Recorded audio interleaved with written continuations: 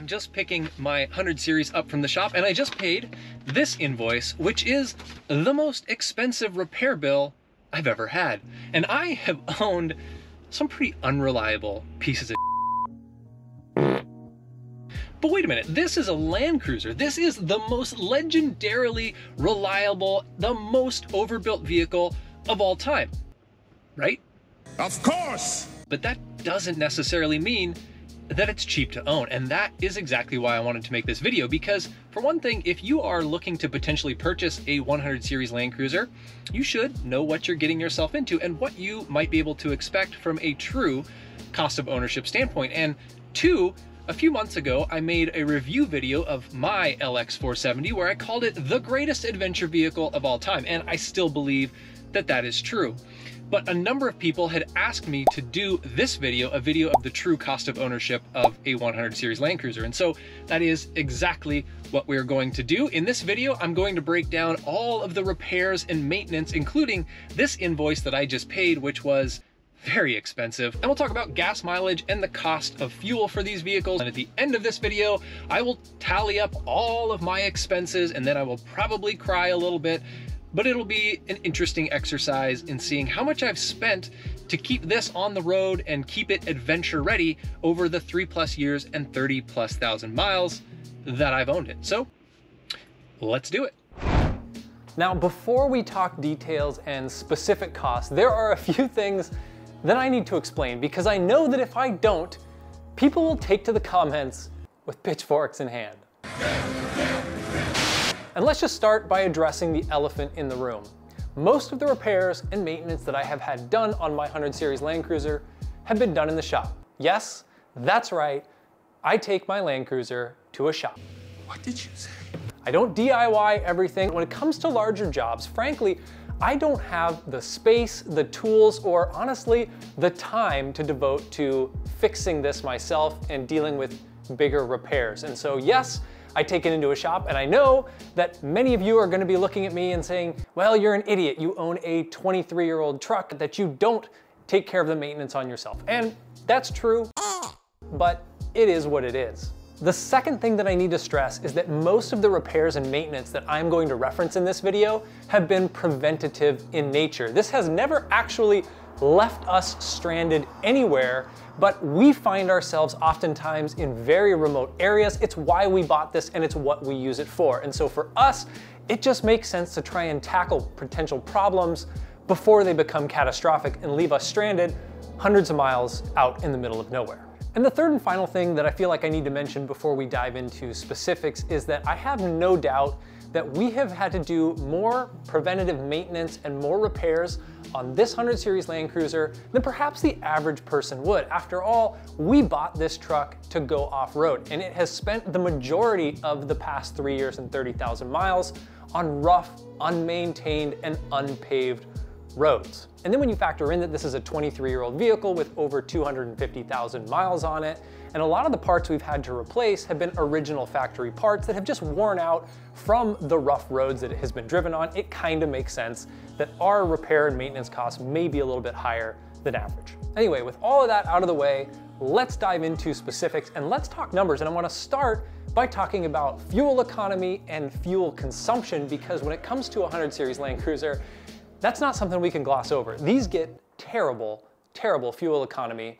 And yes, any vehicle that you purchase, you're going to have to account for fuel usage, unless it's electric, I suppose. But that doesn't change the fact that it is a substantial part of the cost of ownership of owning a 100 series Land Cruiser. Now, overall, in mixed driving conditions, highway, city, and off-road, we have got a combined 12 miles per gallon.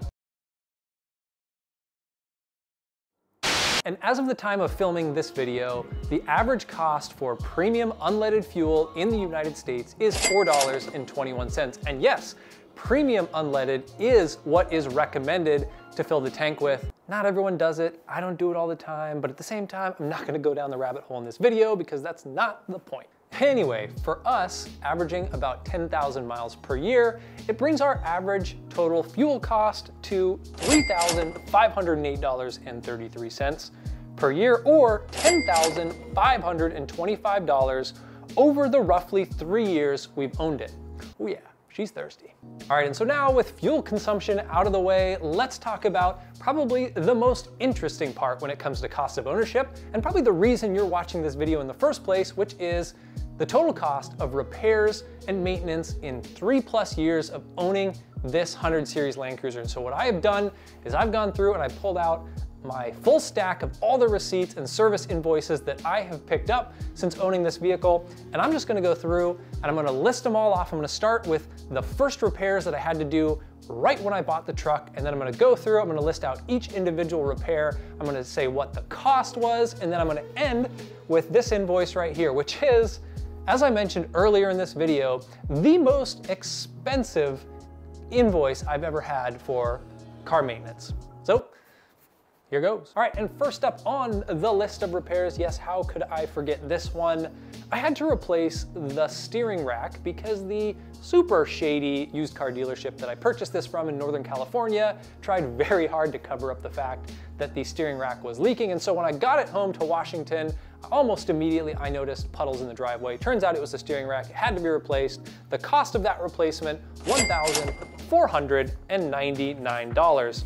They also had to replace an inner tie rod that was $269.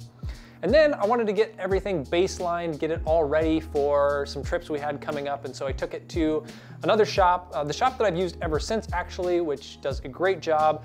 And they uh, had to replace the spark plugs and ignition coils, had the original ignition coils and they were shot. That one was a little pricey as well, $1,150 for that repair.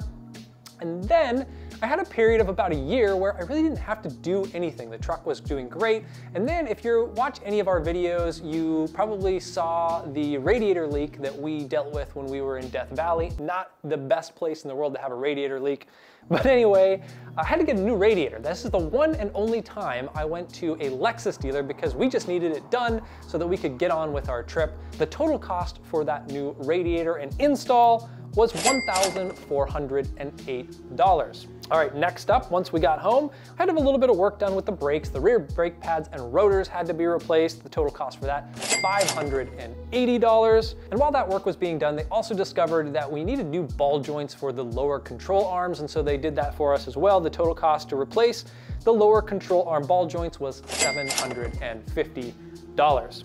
Now, this brings me to the invoice that I keep mentioning, the most expensive invoice that I paid, and there is a reason for it, but there were just a number of things that needed to be addressed. We are getting ready to go to Utah for a two week trip, and so I had them go through the entire truck, and there were a few items that I just knew we needed to get taken care of. They've been causing us some problems for a while, and so we had them do all of that, and then of course, they found a few additional things while they were in there. So first up on this invoice was the starter. The starter has uh, been having some very intermittent starting issues and it hasn't been too bad, but at the same time, going on this long trip, we just wanted to have that addressed. So we had them replace the starter. The total cost for that, $1,043, and that's mostly due to where the starter is positioned in these trucks. It is a labor intensive job, unfortunately, to change the starter. So there's that.